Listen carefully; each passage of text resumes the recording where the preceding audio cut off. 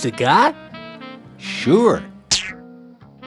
It ain't gonna blow up in my kisser, is it? Don't be silly.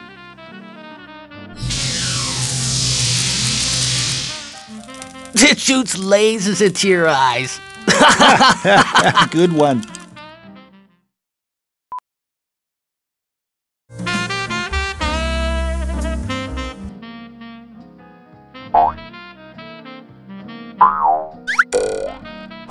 Cigar? Oh, yeah. It ain't gonna shoot lasers into my eyes, is it? Don't be ridiculous. It gives you a painful erection. Good one. Oh.